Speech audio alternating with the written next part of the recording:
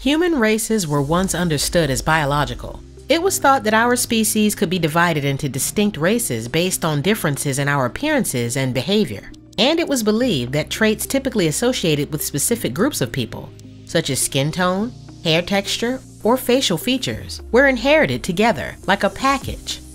This implied that knowing someone's race could predict other important biological information about them, like their blood type or their resistance to certain diseases.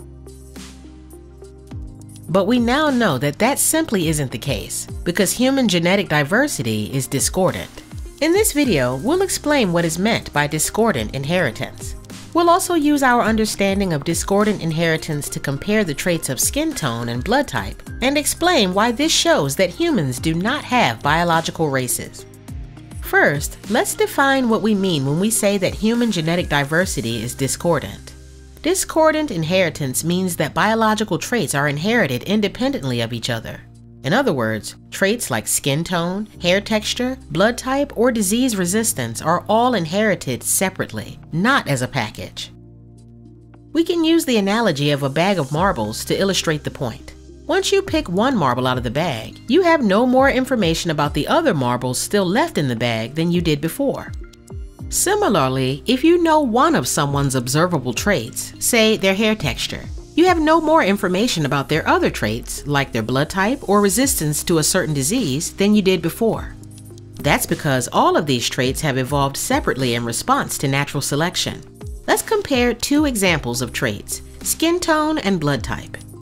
Skin tone is a trait that is often associated with our conceptions of race. However, the variation in human skin tones today is a direct result of adaptation to the sun's intensity through natural selection. Over thousands of years, humans in different geographic regions have developed different skin tones to maintain a balance of folate and vitamin D levels. This allows us to protect ourselves from the UV rays of the sun while still creating the nutrients we need.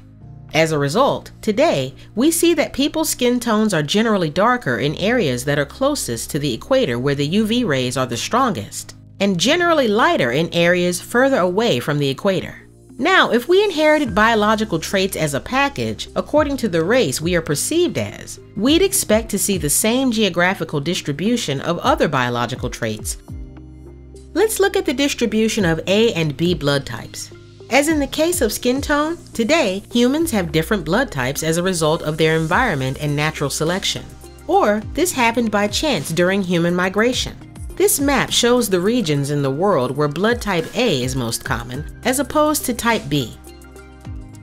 If humans did inherit a package of biological traits according to the race they were perceived as, you could expect to see some sort of relationship between the geographical distribution of skin tones and the geographical distribution of blood types. But these maps show no relation at all. Instead, it's clear that there is a drastically different geographical distribution of A and B blood types in the distribution of skin tone. This tells us that the biological traits that determine blood types have been exposed to different environmental pressures than the biological traits that determine skin tone. It shows that our decision to classify individuals into biological races according to certain traits, such as skin tone or hair texture, is arbitrary.